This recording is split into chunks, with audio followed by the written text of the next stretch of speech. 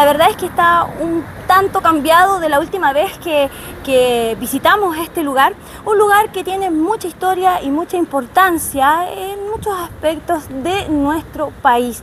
Es un colegio eh, ícono aquí en la ciudad de Iquique.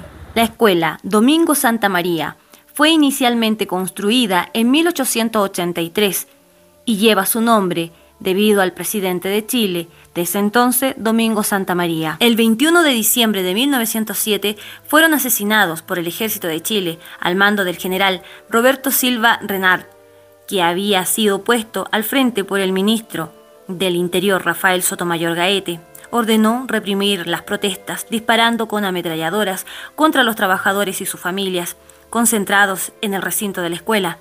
Las tropas acabaron con la vida de los trabajadores junto con sus familias y dieron un trato especialmente duro a los sobrevivientes. Se estima que murieron entre 2.200 a 3.600 personas.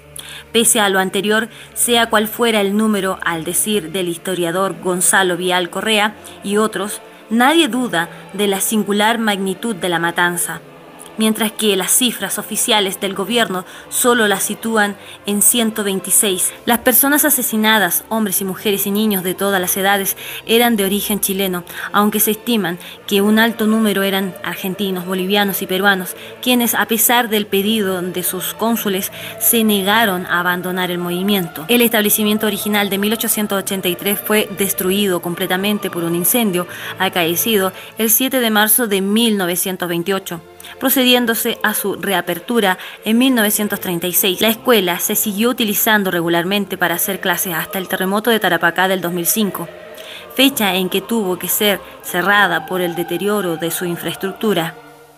Antes de la demolición de esta escuela, se encontraba abandonada y producto de su fuerte carácter histórico, era vigilada día y noche por cuidadores.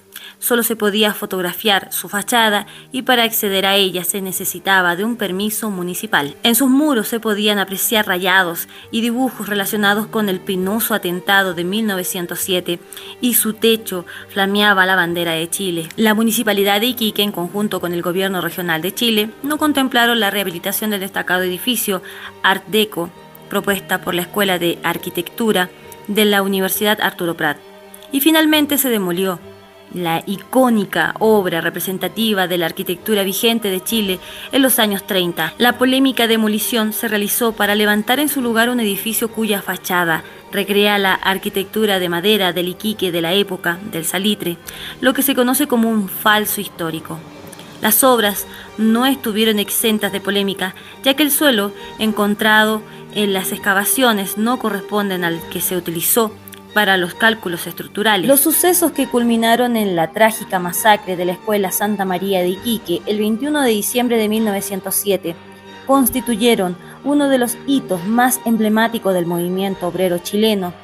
La mediación del gobierno durante la huelga, su masividad y su fatal desenlace le dieron una especial connotación al conflicto, además de afectar profundamente la actividad salitrera y de provocar un fuerte impacto en la época, reflejado en la extraordinaria difusión de los acontecimientos en la prensa. Aunque el movimiento obrero ya se había visto afectado por otros conflictos que culminaron en sangramiento, incidentes como la huelga portuaria de Valparaíso de 1903 y la huelga de carne en 1905, la desigualdad o la singularidad que revistieron los hechos del 1907 le otorgaron una relevancia que no tiene equivalencia.